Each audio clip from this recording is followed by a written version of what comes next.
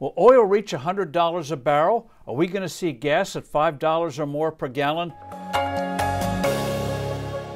Hello, I'm Steve Forbes, and this is What's Ahead, where you get the insights you need to better navigate these turbulent times.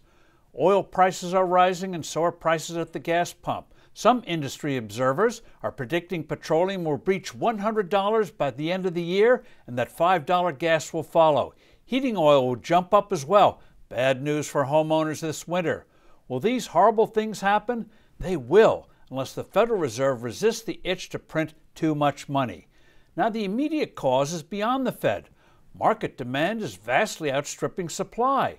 The U.S. is open and people are driving a lot to make up for lost time during the lockdowns. China is growing again, and its oil appetite is immense, already exceeding its consumption before the pandemic.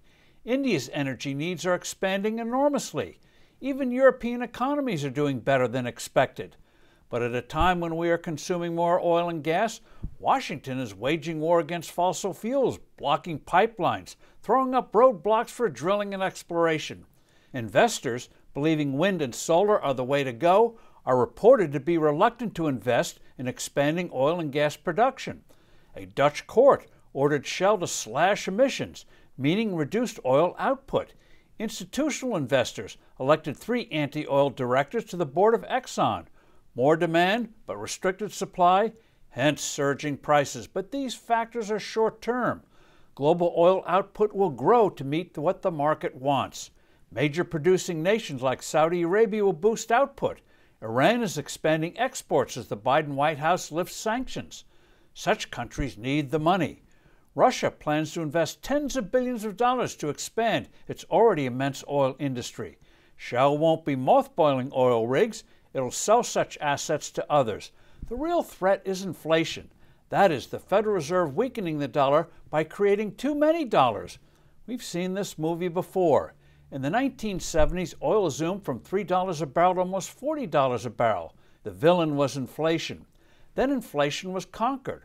Oil plunged eventually settling in in the $20 to $25 range. That changed in the early 2000s when the dollar was weakened again. Oil and other commodities erupted. Oil went to over $100 a barrel.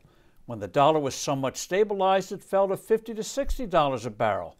The danger is the Fed creating too much money if Washington actually enacts the rest of Biden's binge spending plans. Now, the best barometer is gold. For a variety of reasons, its value is virtually constant.